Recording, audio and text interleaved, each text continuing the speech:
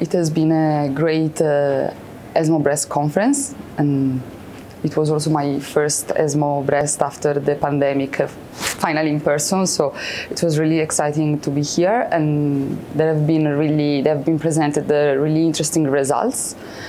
uh, fascinating results. I think that the the highlight to me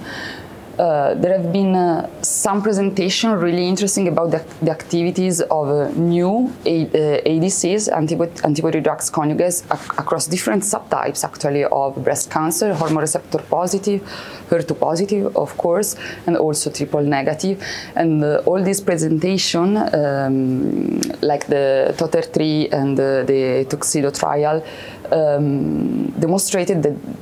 those type of uh, drugs are extremely active in breast cancer. The, the, results are really promising. So I think that uh, we we are going to hear a lot about uh, these studies and uh, these drugs in the next future.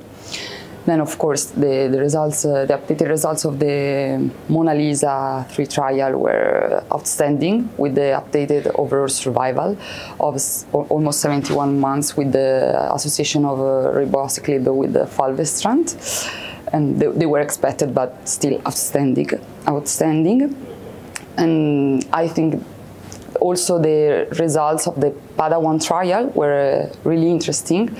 showing you know, the, the role of um,